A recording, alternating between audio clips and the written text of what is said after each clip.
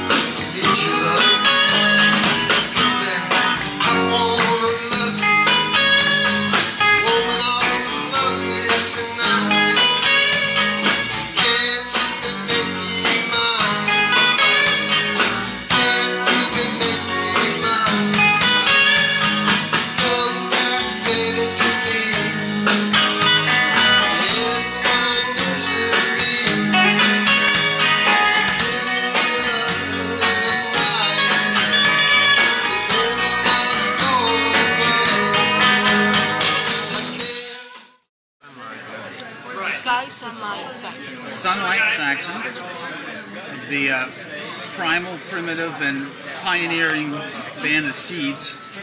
Uh, what are you doing these days, Sky? What's what's going on Well, I, um, besides having salad?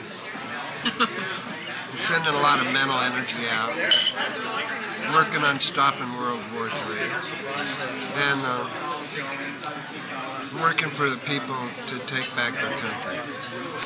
Because we're the people, and we're God's people. We need to take back our country. You know, I, I hear that phrase echoed a lot. You know, um, I, I shot a little video of Willie Nelson a few months back, and I heard his tune, and you're probably familiar with that. And everybody's, and it's um, it's a powerful concept, and it's what, what could you tell the world in terms of what that really means, Scott? Well, I'd have to say, like, first you got to get a brain. Got to get a what? Got to get a brain. We, and realize you're being screwed. You're so Yeah. cool, Scott. You know, yeah, and uh, Cool. and just say we're not going to take it anymore, right. And realize that I, you know, I, I think about you know like voting machines, they're not real either. So what is real? I guess you know it's not electoral votes, it's popular votes. And if you were to ask everybody on the street, even all the people in, in Europe, nine out of ten would say impeach Bush and trying for war crimes. So that's like a done deal, but it doesn't happen. So now we're waiting for another screw. You know, the Republicans or Democrats.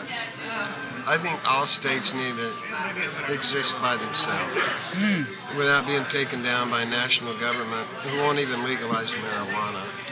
It's a federal crime, and yet every state would honor it. So we need to. Uh, A sense of it's not the. United States anymore because they don't believe in God. If they believed in God, they couldn't be committing wars. So uh, people have to go to war because the government makes them go to war. So we need to be independent states. Hawaii wants to be independent, but they can't be. So I guess we need to be independent thinkers. And uh, I guess like just realize that God's in everyone, and God don't want war. You know, like the dogs don't want war. You know, when they say dogs are war, I never knew what they meant because no dog I ever seen ever wanted war. You know, they want peace. Peace. That's Anyway, I just like Right on. vegetarian Yeah. food. And, uh, all right, man. I'll let you have your dinner.